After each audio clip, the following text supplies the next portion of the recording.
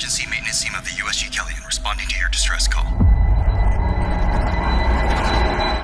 This is Senior Medical Officer Nicole Brennan. Medical is overwhelmed. We need help.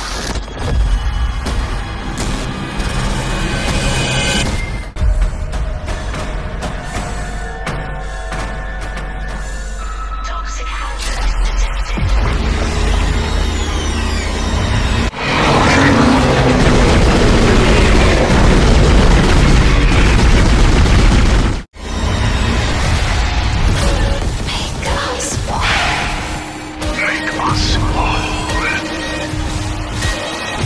Humanity will be made whole, Mr. Clarke.